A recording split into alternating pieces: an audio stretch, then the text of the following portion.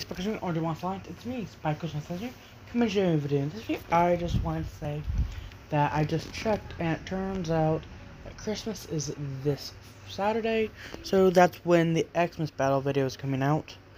And so I'm going to have to be doing some more videos for the week after. So I'm thinking somewhere along the lines of a New Year's special. So I'm going to be doing that.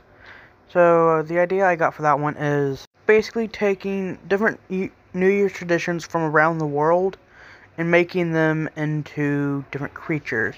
For the Monsterverse I'm working on, I don't really got that many monsters, so I'm thinking that could be a new one.